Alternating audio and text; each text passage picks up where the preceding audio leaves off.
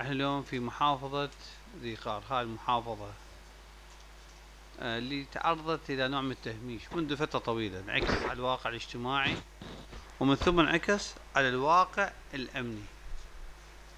الأجهزة الأمنية آه، يجب تقوم بواجبها بتوفير الأمن وبناء بيئة مستقرة حتى تعطي فرصة للإعمار. بدون أمن ماكو إعمار وماكو استقرار. ما يخفى عليكم محافظة مرت بظروف صعبة معقدة بالسنتين الأخيرة. ظروف معقدة بسبب تظاهرات بسبب مطالب الناس وبسبب رد الفعل وبسبب التضحيات ووجود ضحايا كبيرة. انعكست على معنويات الأجهزة الأمنية انعكست على معنويات الناس انعكست على كل مؤسساتنا. هذا ما وجد خلل كبير في واقع الخدمات وفي واقع الحالة الاجتماعية. آه الضعف الأمني كما ذكرت يؤثر على عملية الإعمار. نحتاج يكون هناك حسم وتدريب لقواتنا لحفظ القانون. آه نعم حياة المواطنين يجب أن تحفظ ولكن في نفس الوقت القانون يجب يكون هو السائد والحسم وليس المجاملة. أنا أسمع بعض الأحيان يقولون رئيس وزراء ما داعمنا أنا سوين ما داعمكم.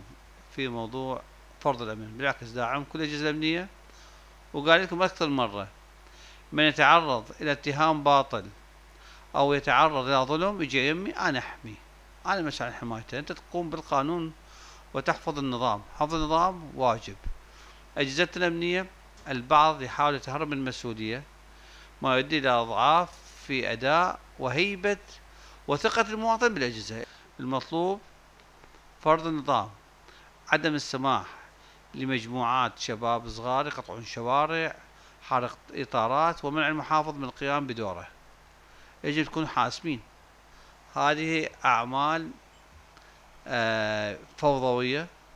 لا تستحق استخدام السلاح الحي وإنما تحتاج قواعد اشتباك في حفظ قانون.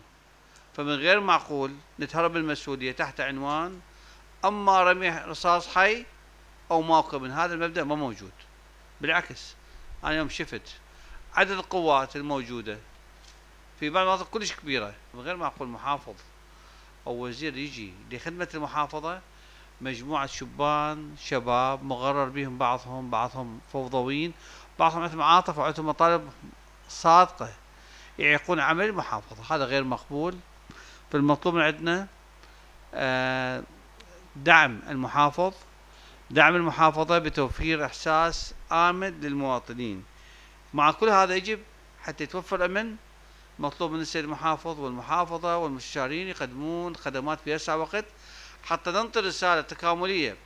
الخدمات والأمن يمشون في وقت واحد حتى نستعيد عافية المحافظة ونستعيد كل إمكانيات الثقة بالدولة. الأمن أساس لأي استقرار فالمطلوب متابعة للضباط قوانين العسكرية تعطيكم مجال عندكم الدعم الكامل من القائد العام للقوات المسلحة أي شيء تحتاجوه كأجهزة أمنية. نحن جاهزين دعمكم. راح تطلبوه ما حنقصر وياكم. مقابل هذا الحسم في الأمن. نوبات ترى شغلات صغيرة. تخرب لك شغلك الكبير. لا تعطونا أي متجاوز أن يتجاوز على القانون أو على الدولة. أبدا. كونوا حاسمين.